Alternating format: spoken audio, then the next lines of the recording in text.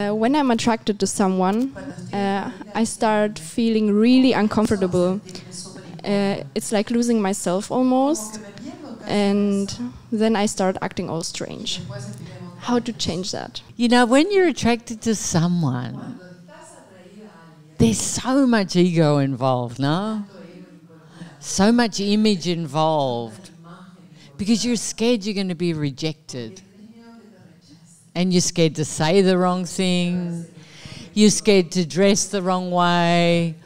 You think about everything a hundred times before you say something.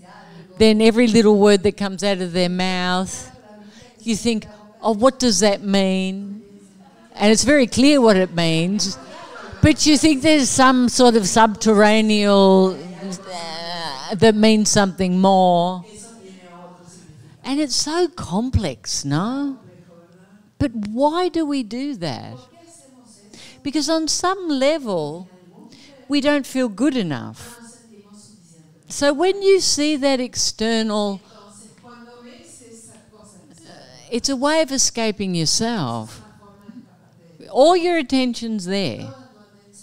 And it needs to be here in loving yourself being clear with yourself, and free to be you. You know, it's all very exciting the attraction and the adrenaline and all the romantic notions, which usually never live up to the expectations. But we like that, no? We love all of it. But don't lose yourself. So, who do you like? I can fix this right now. Huh? Uh, we can make it public. Ah. You're not going to tell me, are you?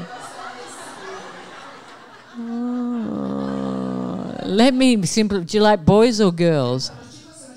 I like both. Oh, that's not fair. now I've got a hundred people to choose from. Ah. Oh. No, you young people are too complicated. Yeah, yeah, yeah, yeah.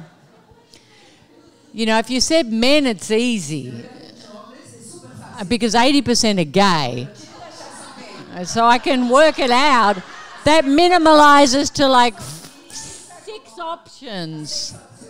But if you say you like both, I'm screwed. Oh, no, no, no. It's too complicated. Okay. I give up. But I'll work it out, don't worry. I'll know by tomorrow. I've got my spies.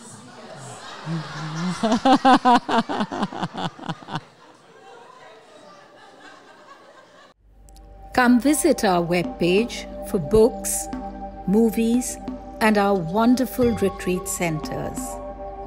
Isha's simple yet powerful system is transforming lives around the world.